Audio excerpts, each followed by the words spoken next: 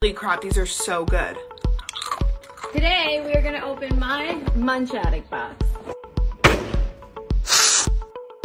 Oh, th there's a lot, y'all. There's a lot. Do you like trying snacks from all over the world? First one I'm gonna try is called the Narungi Candy. This is what it looks like. Let's try it. That's really good. Introducing Munch Addict. It's in Arabic. This one's an Arabic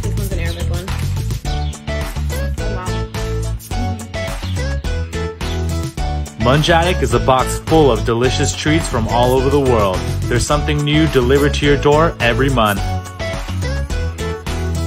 Hmm. Our snack experts scour the world to find the tastiest treats out there. Pizza snacks are next. Looks like a piece of toasted bread. These are good. Get your first box today.